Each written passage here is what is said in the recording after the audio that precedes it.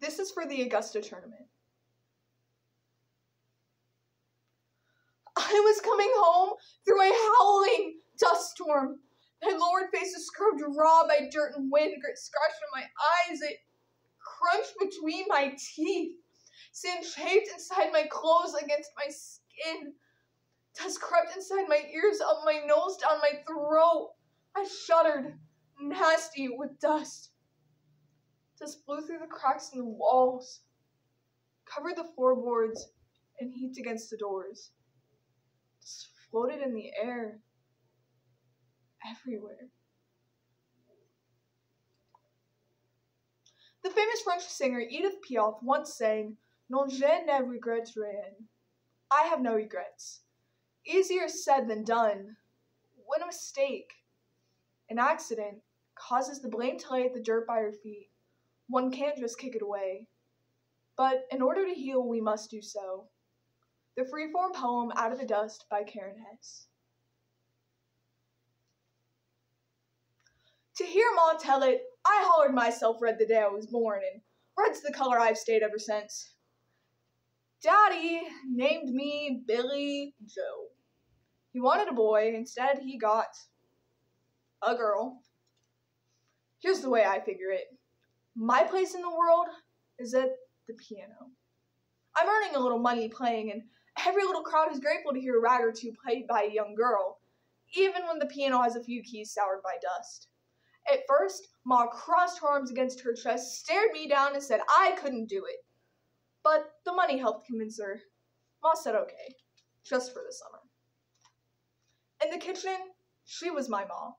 Out in the barn and fields, she was my daddy's wife. But in the parlor, Ma was something different. She isn't much to look at. Her teeth poor, so tall and skinny, and her dark hair always in need of a wash. But from the time I was four, I remember being dazzled by her whenever she played the piano. On my fifth birthday, Ma sat me down beside her and started me on reading music, started me on playing. It was a special bond between Ma and me. It was all we had in those hard times. We hadn't had a good crop since the summer of 31, three years, and soon there would be a new mouth to feed. You see, Ma tried having other babies. It never seemed to go right except with me. But one morning, Ma went on how she was expecting again. It was an accident. And I got burned. Bad. Daddy put a pail of kerosene next to the stove, and Ma, fixing breakfast, thinking the pail was filled with water, lifted it to make Daddy's coffee, poured. But instead of making coffee, Mom made a rope of fire. It rose up from the stove to the pail, and the kerosene burst into flames. Mom ran across the kitchen and out the porch door, screaming for Daddy. I tore after her then, thinking the burning pail left back in the kitchen. I flew back, grabbed it, and flung it out the door. I didn't know.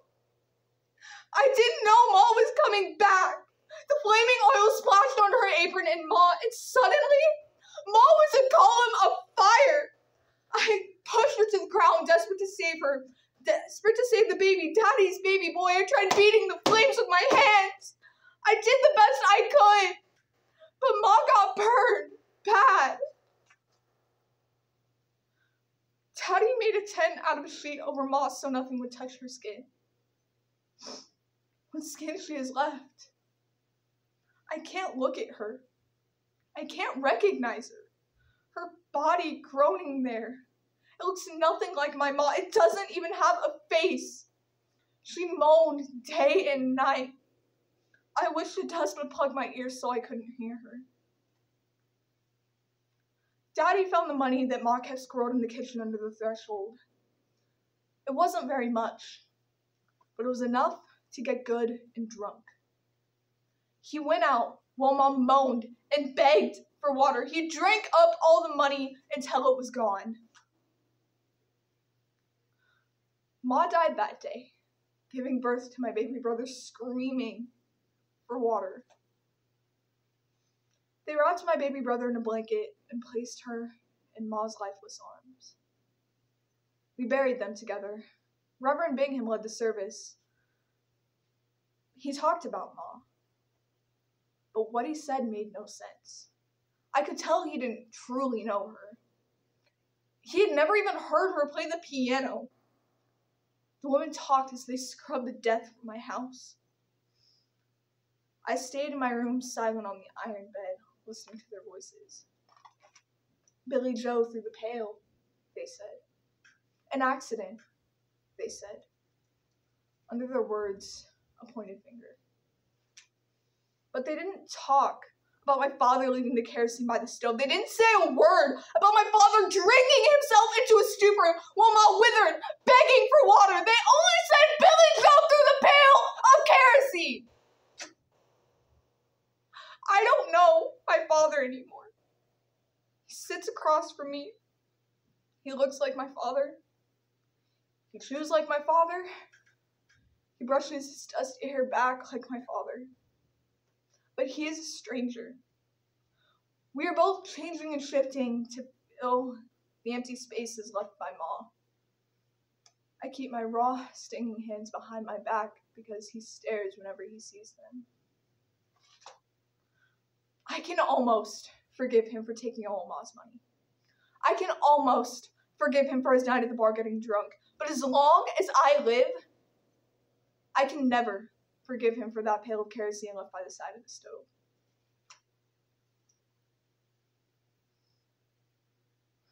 I look at my hands and I wonder. I wonder if I'll ever play again. I wonder if I'll ever want to.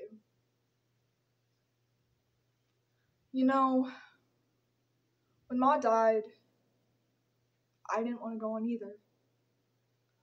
Now that I see that one day comes after another and another, and you get through them one measure at a time, I'd like to go. Not like Ma. I don't want to die. I just want to go. Go away out of the dust. Thank you.